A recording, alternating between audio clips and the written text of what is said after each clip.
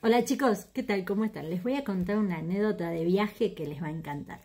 Resulta que mi alumna Silvana y Lucía esta mañana vienen a clase, al mediodía terminan su horario de clases, toman el Belgrano Norte, de Tortuguitas viajan a sus respectivos eh, sitios de trabajo. En el tren, ellas tienen varias estaciones para viajar juntas y venían conversando sobre lo que habían hecho en clase.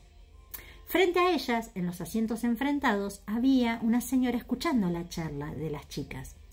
Entonces le dice la señora, esa así, metió cuchara en la charla y dice, ¿ustedes son estudiantes de odontología?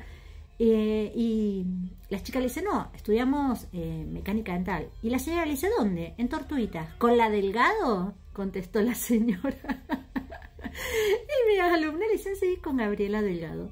Entonces a esa señora que entre las 11 y 12 del mediodía viajó en el tren Belgrano Norte, pasó por la estación de Tortuguita donde se encontró con mis alumnas, te mando saludos. Dice que ella estudia en San Miguel, lo que no sé dónde, porque hay varios institutos en San Miguel. Pero eh, a vos, que te encontraste con mis alumnas, te mando un saludo. ¿Y saben qué es lo lindo de esto? Que así como gente de otros institutos reconocen a mis alumnos, eh, es por eso que yo comparto las fotos y los videos de los trabajos de mis alumnos, porque así también hay muchos odontólogos que me preguntan sobre mis alumnos para que trabajen con ellos.